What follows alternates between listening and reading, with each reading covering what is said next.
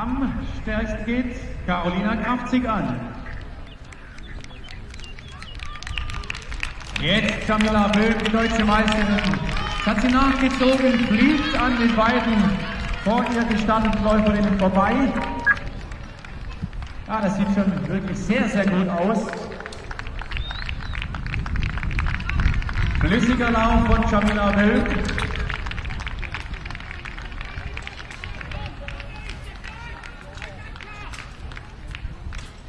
Die Wechsel des Rückbeins haben wirklich sehr, sehr gut funktioniert.